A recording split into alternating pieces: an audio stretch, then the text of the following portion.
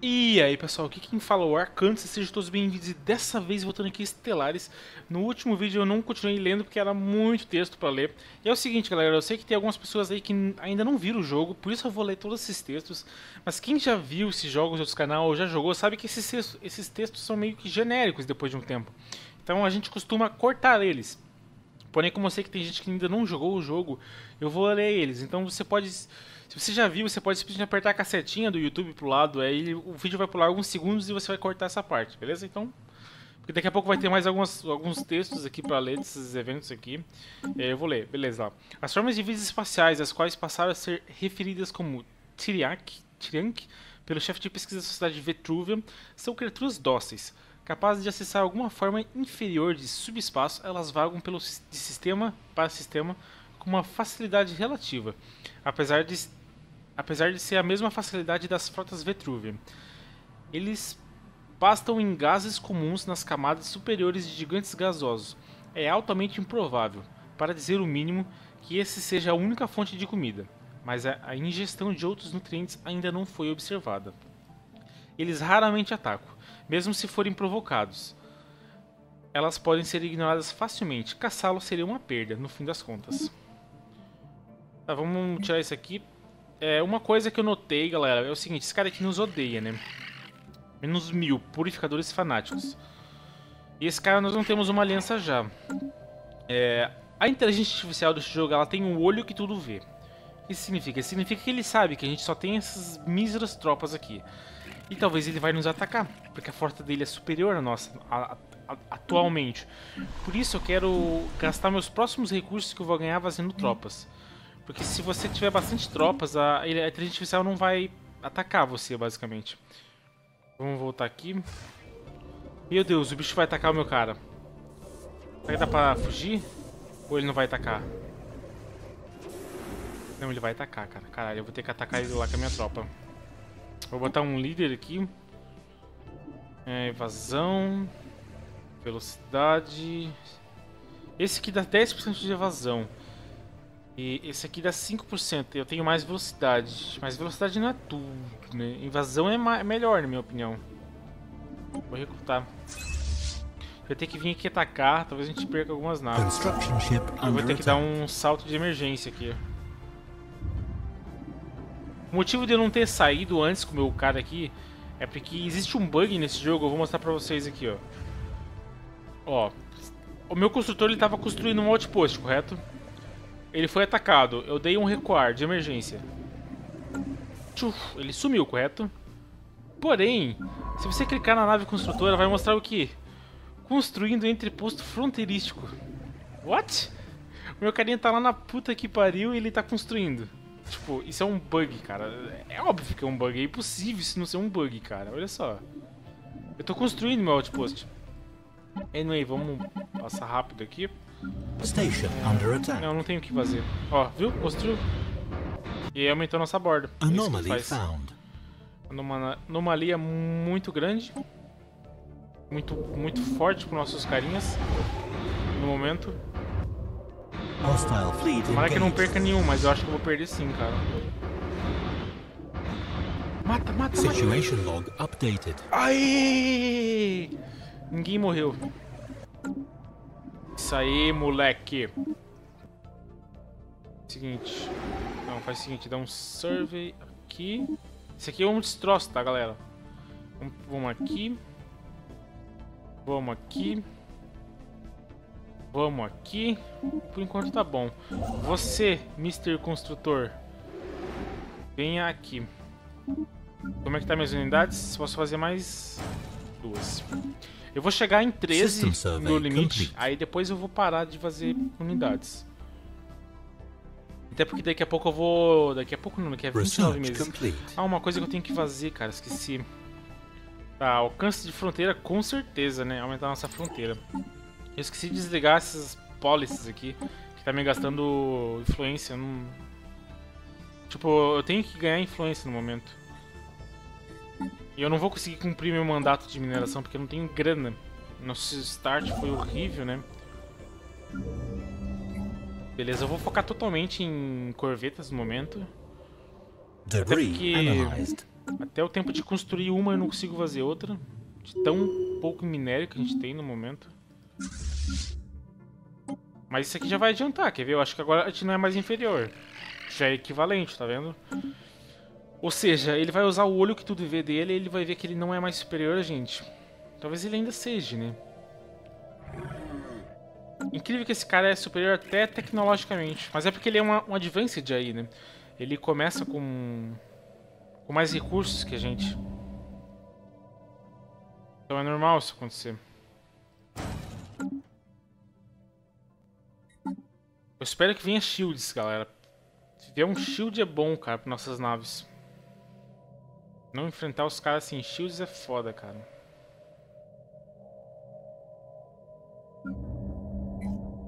Eu tô muito pobre, velho. Meu. Tem que esperar três meses, cara, pra conseguir construir isso aqui ainda. O ideal, geralmente, você vai conseguir... Você vai querer desenvolver suas estações de mineração até você ter mais ou menos uns, uns 25, 30, logo no começo do jogo. Isso é um bom número no começo do jogo. E a gente tá fazendo 12. System é survey complete. Deprimente isso, cara. Vamos liberar esse daqui, ó. É, não dá pra liberar ainda. E o cara vai terminar aqui, velho. A gente vai liberar esse aqui pra desenvolver essa ciência aqui. Mas primeiro vamos, vamos fazer mais uma nave. A nossa última nave. Agora a gente tá... Eu até dei essa dica, eu acho, no último vídeo, né? Se você estiver bem economicamente, claro que aqui, aqui eu precisei fazer isso por causa desse cara aqui, né? Mas se você não tiver um inimigo evidente, uma coisa que você pode fazer é todo ano construir uma nave, uma corveta. Entendeu? Todo ano você guarda um pouco de recurso e constrói uma corveta. Quando chegar lá em 2220, você vai ter toda a tropa completa, basicamente. Complete. Sem ter que desembolsar à vista aquele dinheiro extremamente alto. Tá, vamos, eu vou liberar isso aqui, porque aqui eu já tenho, tenho sociedade e engenharia. Então vou liberar isso aqui. Vou esperar mais um, dois, dois meses. É, dois meses. Só esperar dois meses, ou não, cara. Faz o seguinte. Se dane lá, vamos direto pra cá. Meu, 28 meses, caramba. Muito tempo. Esse cara daqui a pouco ele vai ficar cordial pra gente. E talvez role uma aliança. O problema é que a aliança ela vai custar dois pontos de influência. E a gente tá ganhando dois pontos. E eu esqueci de declarar rivalidade. Ah, eu declarei rivalidade pra ele. Eita. Precisa ganhar pontos, cara. Tô ganhando muito pouco. Tá, vamos lá.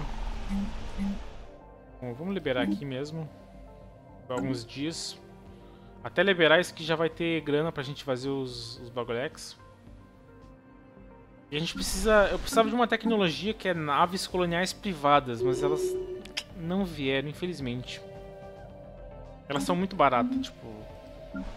Minha nave colonial atualmente custa 315. Aquelas lá, elas iam custar uns 240. Elas iam ser bem mais rápidas para construir. Mas a sorte não sorriu pra gente nesse jogo, infelizmente. System Survey complete. Exploradores eruditos. Exploradores eruditos valorizam o processo de descoberta e exploração acima de tudo. Eles negoci negociarão felizes em troca de conhecimento que buscam, mas não descartam a possibilidade complete. de tomá-los à força, se for necessário. A gente consegue fazer algum acordo comercial com ele? De tecnologia. What do you think? Hein? Não, não gostam. Que tal informações de cartas estrelares? Esse aí ele quer, né? Pode ser. Vai revelar algumas coisas que ele já descobriu pra gente. Yes? Eu espero que revele. Eu tô revelando pra ti, né, fião? É, terminou aqui já? Terminou. Vamos fazer agora um, uma ciência. Afinal de contas, nós somos cientistas, né? Não foi à toa que eu peguei um materialista aqui.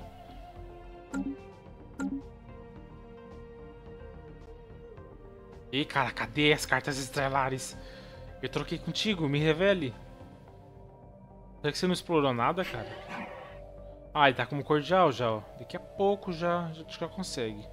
Filosofia de guerra diferente. Research complete. Research complete. Isso aqui eu gosto de pegar Ele é um Bagulex que ele ele vai atirar nos mísseis inimigos e vai destruir eles, evitando que eles atinjam nossas corvetas. Mas eu vou pegar os meus defletores, que são mais baratos a tecnologia e sei lá, são bons, a gente não tem nenhum no momento.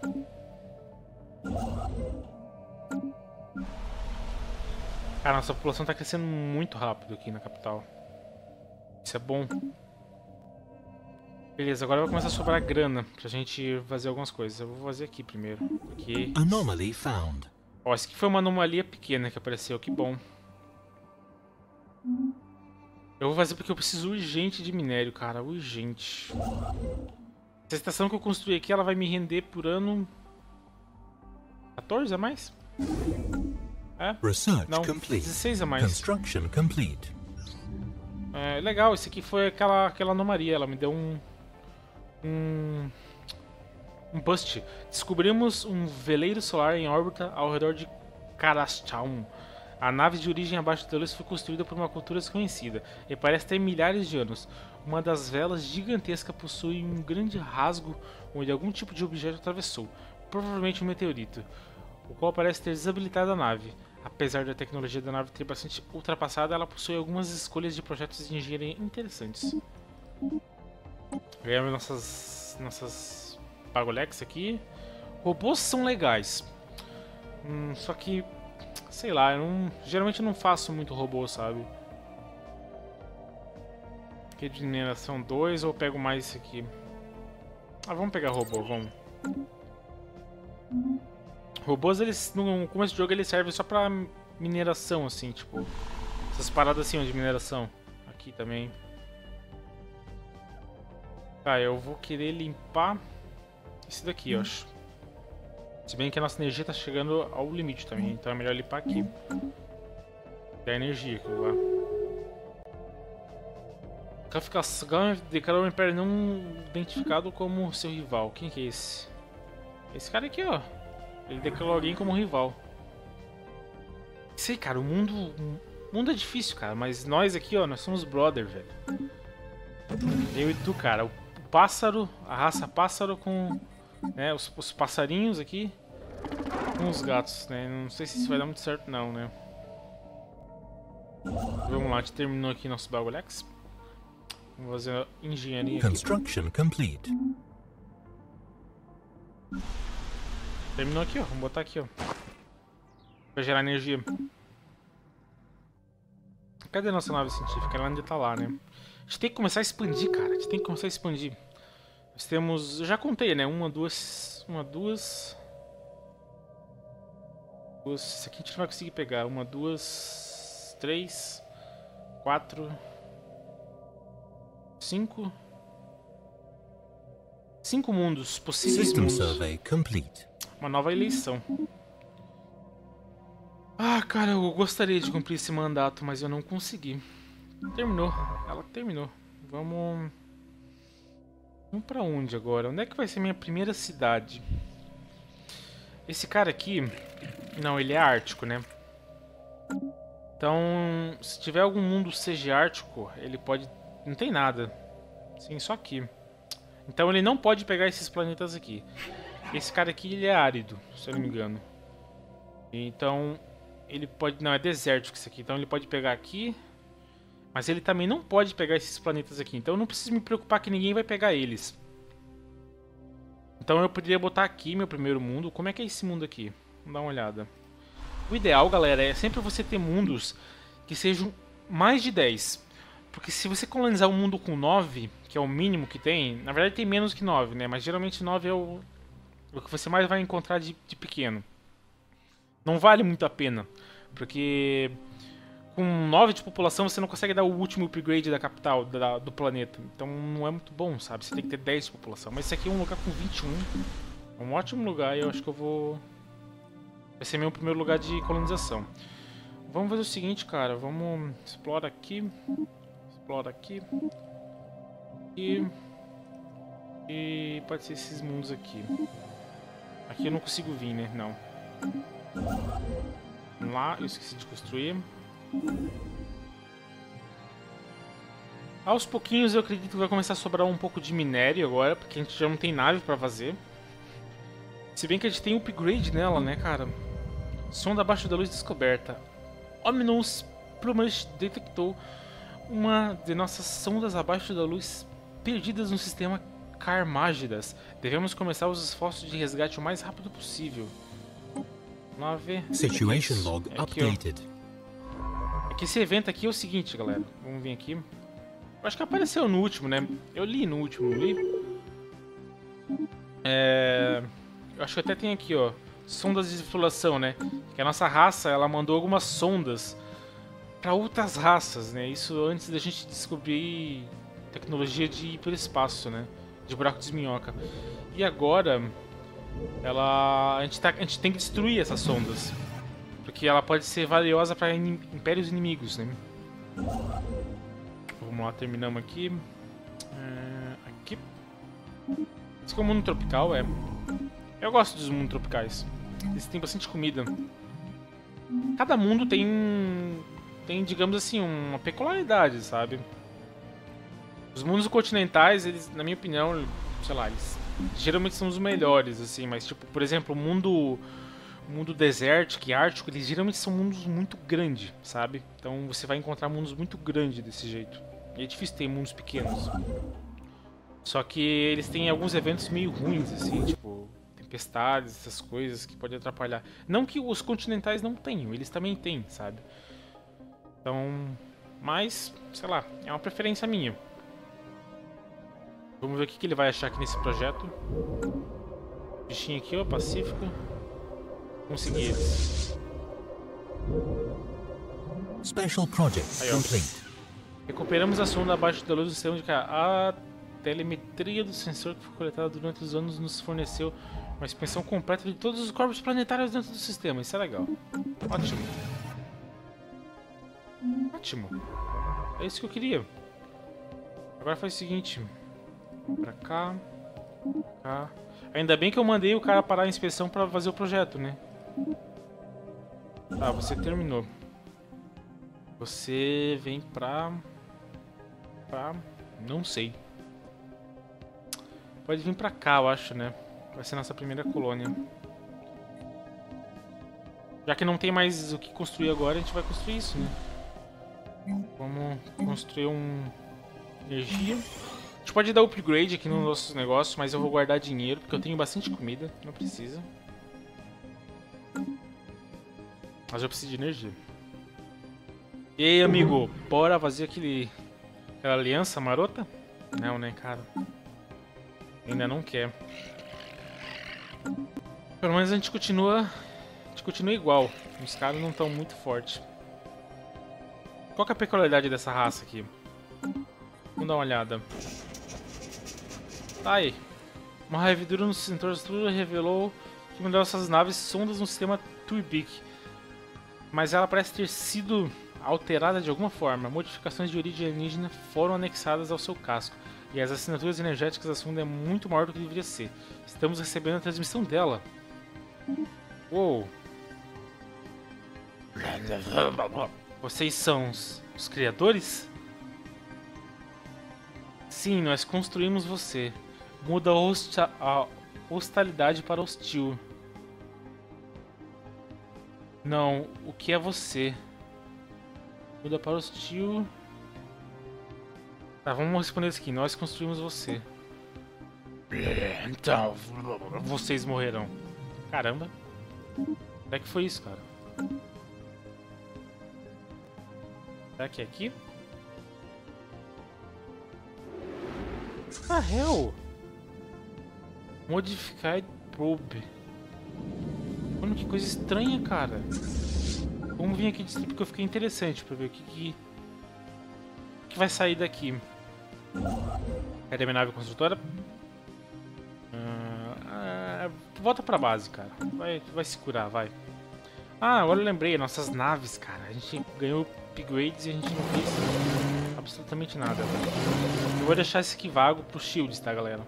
Então não adianta nem colocar coisa aqui. Esse aqui também? Não adianta nem colocar porque... Vai quantos de upgrade? 200, vai, vai uma grana. Grana preta.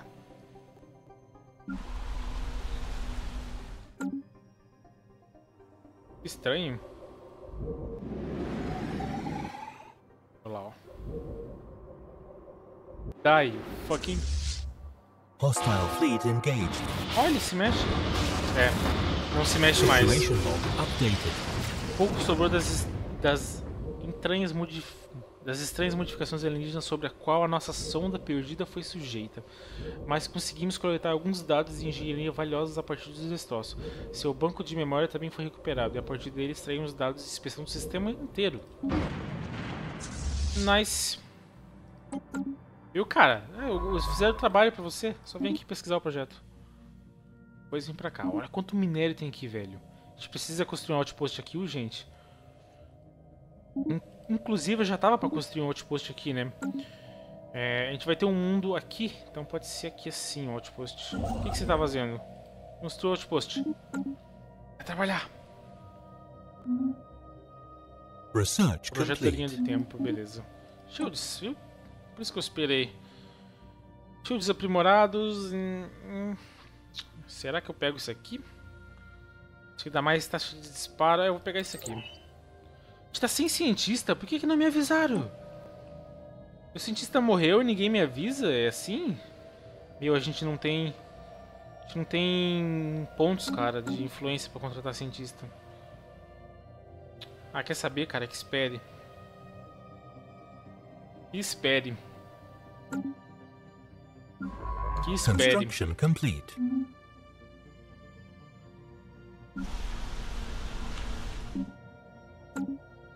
Eu não tenho grana, cara. Eu não tenho grana. Se bem que eu vou conseguir um monte de, de minério aqui. Um com quatro lá. Eu vou usar esse cara aqui como cientista, na real. Depois eu contrato um outro. No lugar da função. Primeiro vamos ver esses destroços aqui. O que, que tem? Ah, eu esqueci dessa parada aqui, cara. Eita. Eita, nós. É o seguinte. É... Como é que faz pra tirar? Assim, ó. Agora a gente pode colocar ele aqui, correto? Não, ele tá vindo ainda, 10 dias. Tchablau. Você pode voltar pra casa, cara. Analisamos os destroços e não ganhamos bosta nenhuma.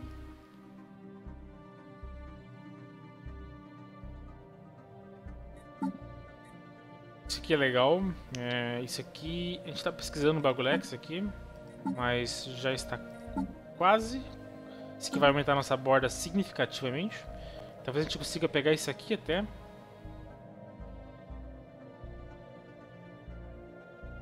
Special project complete. aquele Special project complete. de texto. Special project complete. Eu mandei todo mundo pesquisar ao mesmo tempo. Vamos lá, vamos lá.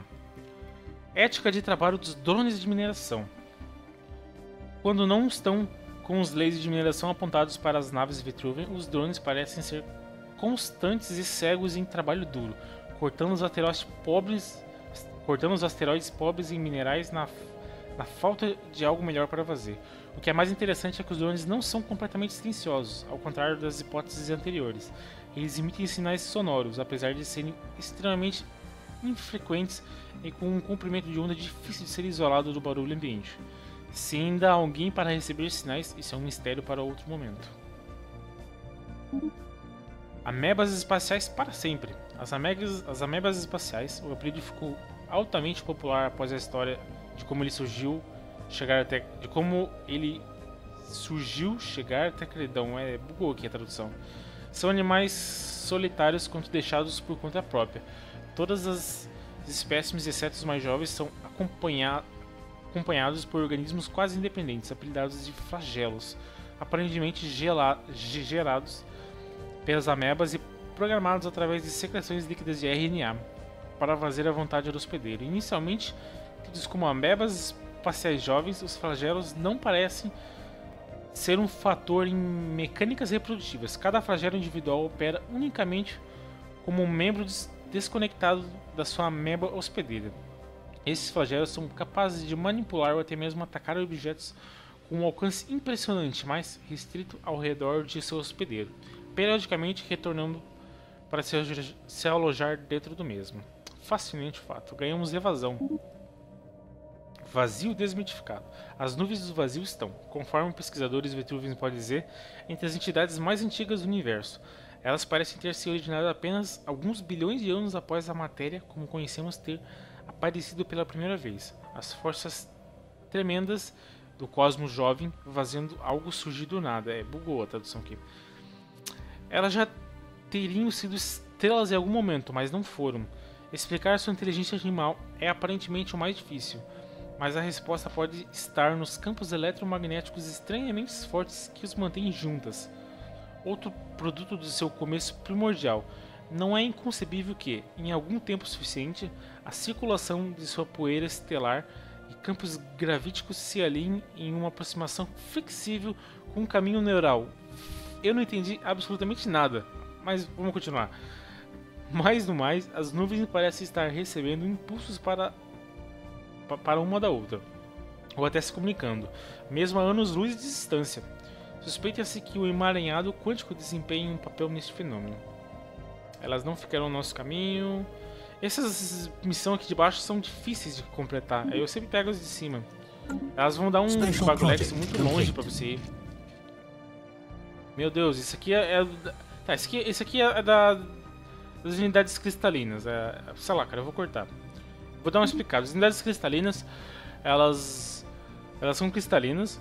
É, o que mais posso dizer? Ela, a gente não sabe como é que elas se reproduzem. Elas são agressivas, elas atacam tudo que vê. E é isso que a gente sabe delas, basicamente. Será que tem uma unidade cristalina aqui? Ó, esse aqui é uma ameba. Gas Grazers. É uma ameba, né? Baleia espacial, não? Uma baleia espacial. Bicho estranho, cara. Eles sempre passam no, no, nos, nos, planetas gasosos. Research complete. Se você quiser matar eles, você vem nos planetas gasosos, porque eles sempre vão vir. Temos nossos robôs. Beleza. Refineria de Betaren é bom. Se a gente achar Betaren, que é um recurso estratégico, ele dá muita energia. Muita mesmo. É o seguinte, vem pra cá. Quer um cientista? Ah, não tem cientista. É a velocidade de inspeção. Vem cá, meu filho. Deixa eu ver se não acabou ainda. Tem uns 200 e pouco. Daqui a pouco a gente vai conseguir fazer a nossa primeira nave colonial. Aí, Quero ver se eu termino o vídeo fazendo ela. Ou não, né? Porque tem essas coisas pra construir aqui ainda, né? 8 de energia. É, eu vou dar um tempo, velho. Que é muito... É impossível não construir aqui, cara. São quatro. Um pouquinho quatro de, de minério. É muita coisa. Uma coisa interessante, antes de eu encerrar o vídeo para falar para vocês, é que a borda desse jogo aqui, ela é... Ao meu ver, eu posso estar falando merda aqui, mas pelo que eu entendi, ela é de acordo com a tua população. Quanto mais população ou buildings você tiver no teu mundo, maior vai ser a borda dela. E a partir do momento que ela se conectar aqui, depois que a gente vai fazer um planeta aqui, as bordas vão crescer bastante, vocês vão ver. Inclusive... Não. Aí, achamos uma civilização. Civilização na... Na... Cidade do vapor. Deixa essa anomalia, muito pesada. Você pode construir um Bagolex aqui para observar elas. E, inclusive a gente consegue. Perfect. Construa. Depois você vem aqui terminar. Vai dar 6 de. Vai dar 3 de. de pontos de sociedade. 6 se eu não tivesse um Bagulex. Aí, aumentamos nossa borda. Clínicas fronteirísticas, é muito bom, adoro. Tá vendo que aumentou um pouquinho, né? Tá quase pegando isso aqui. Tenho certeza que depois que a gente botar nossa colônia aqui, vai, a gente vai ligar isso aqui tudo. E aí, mano, bora fazer aquela aliança marota? O Fist, hein? O que, que, você, que, que se diz? Não, né, cara? Pô, assim você me deixa triste, cara. Estamos quase chegando em 100, velho. E ele não quer uma aliança. Por quê? Why? Why? Por quê? Preciso de uma aliança, cara. Precisa aqui, ó. Ó, ele não é mais superior a gente nível tecnológico. Viu, cara? Eu vou te superar ainda. Mas então é isso, galera. Obrigado pra quem assistiu. Digam o que vocês estão achando da série aí. Algumas dicas pra fazer, sei lá, se estão gostando ou não, acompanhando. E é isso. Valeu, fui. Até mais.